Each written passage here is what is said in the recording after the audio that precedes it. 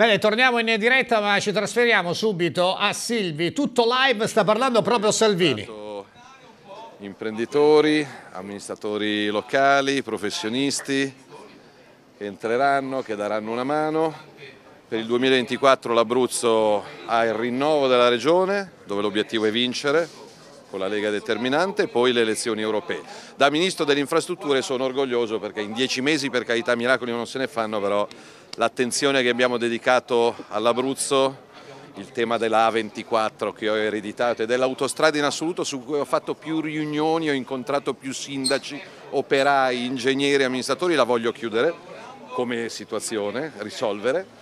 E poi c'è il tema della Roma Pescara, della ferrovia, su cui vogliamo accelerare, c'è il tema dei porti da dragare, c'è il tema del sistema aeroportuale, ci sono case, ci sono dighe, quindi devo dire che in questi dieci mesi penso che gli abruzzesi abbiano toccato con mano il cambio di passo. La Lega ha perso dei pezzi in consiglio e in giunta, e interverrete se si come?